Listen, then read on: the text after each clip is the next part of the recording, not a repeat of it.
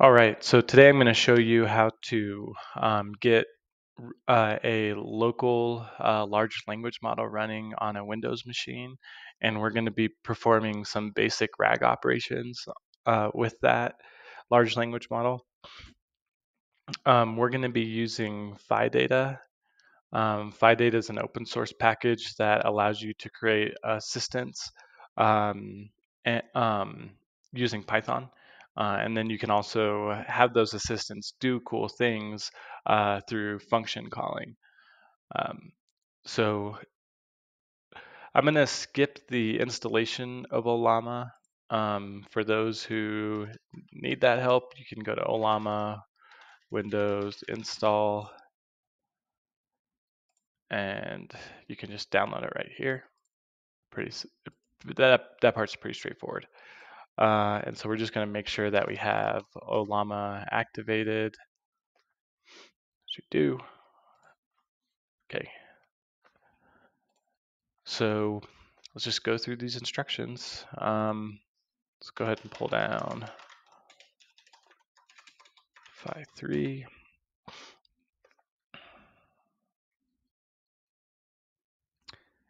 Perfect. Um, now got to pull down the embedding model too. Nice. Okay, so this is where we need to update the documentation.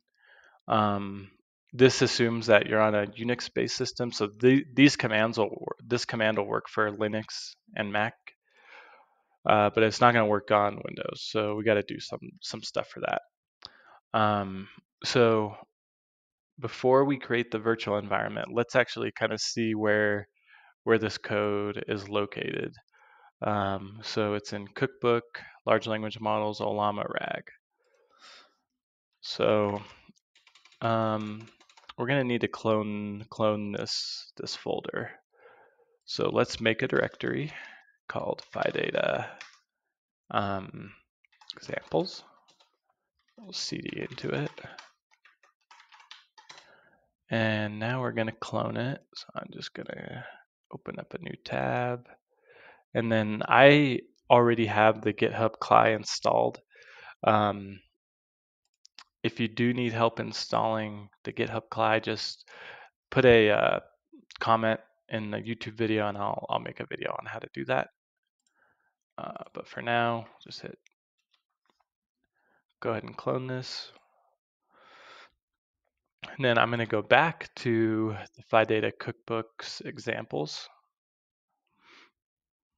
Okay, now we are going to we're gonna we're gonna change directory all the way. Uh, well, we could actually watch.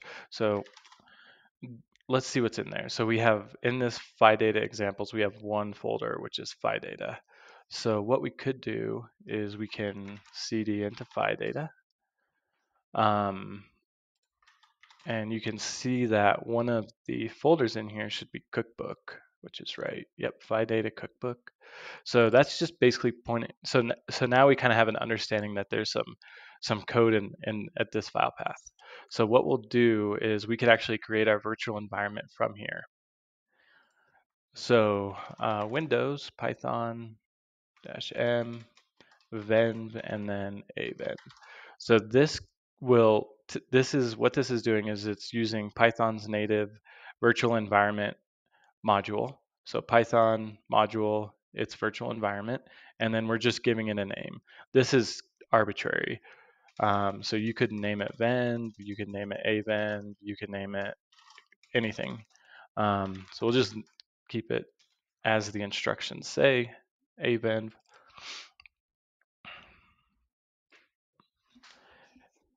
And then, so this is going to create the virtual environment within this file path. The next thing we're going to do is we're going to have to activate it. Um, and so why, why do we want to do this? Well, um, when we're running Python code, we want the dependencies to be, um, uh, you know, so basically we don't want to like it have a bunch of dependencies that we're not going to need. Um, and so what PhiData is telling us is like, hey, here are the dependencies. we're telling you exactly what you need.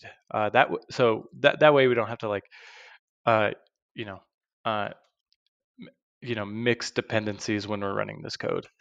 Um, so we'll do pip install. Actually, we'll just copy this command.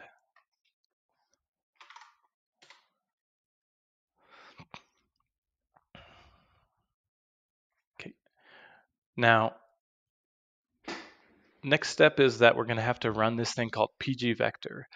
Um, so you could just think of this as a, a database uh, that's going to give the assistant knowledge. Uh, so the assistant is going to be able to use this database to like look up um, um, either docu documents that you upload to it, like through a PDF, or if you give it a URL, it'll be able to scrape the URL and throw it into this database. Um, okay, so we have, oh, yep, you know what? I didn't activate the virtual environment. So what I did is I went and created the virtual environment, but I didn't activate it. So I installed all these requirements on my base uh, Python, um, uh, my my base Python uh, kernel. And so what we'll need to do is uh, we'll need to actually activate it. So how do we activate this within um, within Windows? Uh, so so super simple. It's a one-line command. So we'll do it. We'll do the name of the virtual environment, scripts, and then activate dot bat. And then we're going to run the install.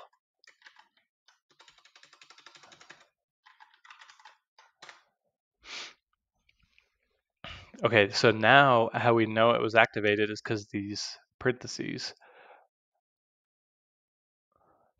and so it's installing all those requirements on that dependency or on that uh, on the in, in this activated virtual environment.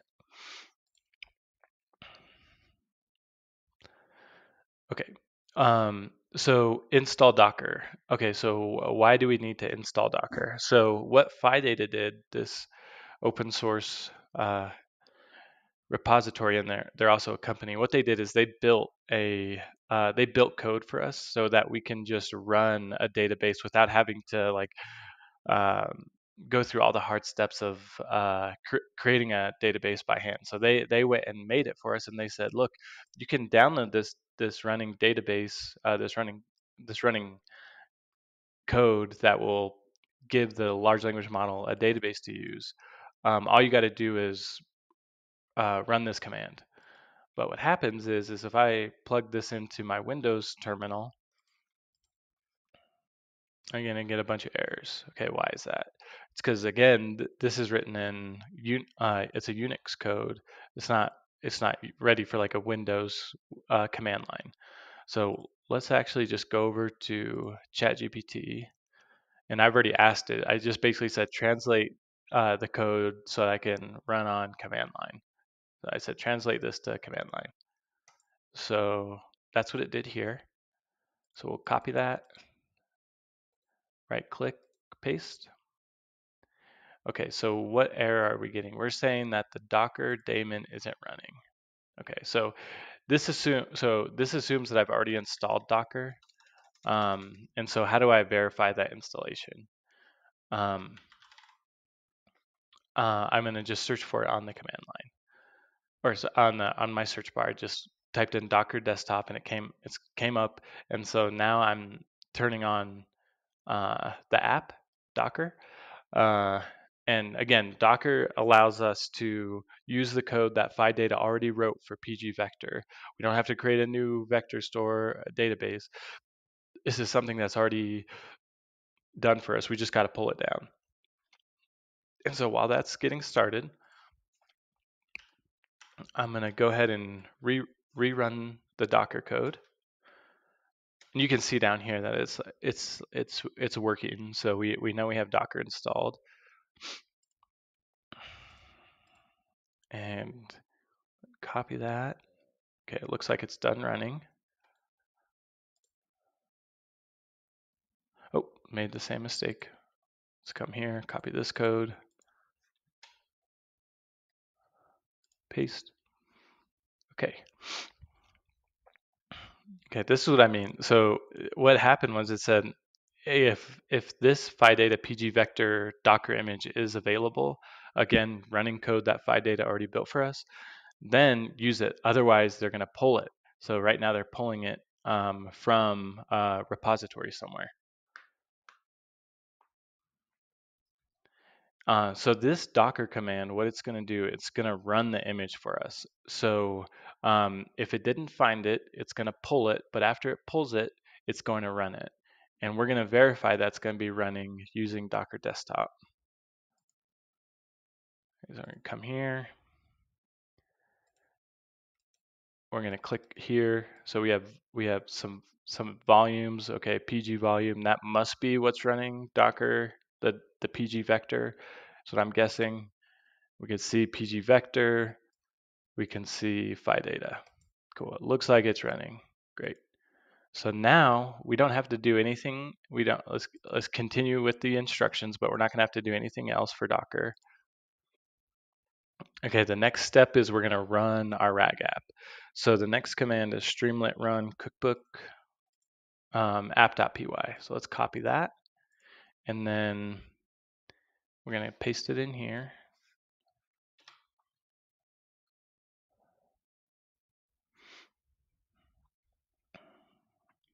And then we're going to go to localhost.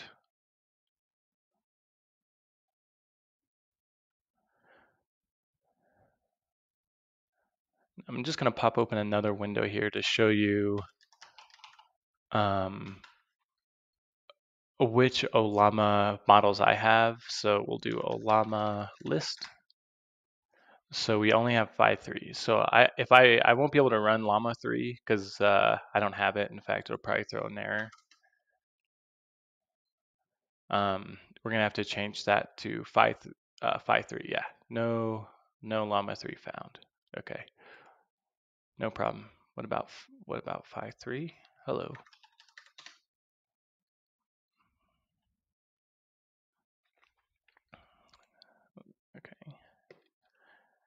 So when we ran Streamlit, um, so what happened was is it created the Llama 3 assistant. Um, I don't have Llama 3, so it threw an error. And now, uh, and now it's running, and now it's running Phi 3. Um, it's still responding to hello, which is um, taking a little little while here. Just kind of curious to see how much load it is on my system.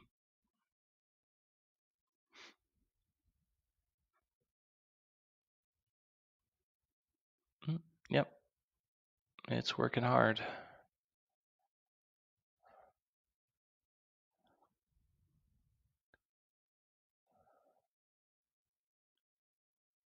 Um, but what you can do is, while this is running, what you can do is you can actually upload your files and then you can add URLs. So um, if you have a URL in mind, you can paste it here, add it.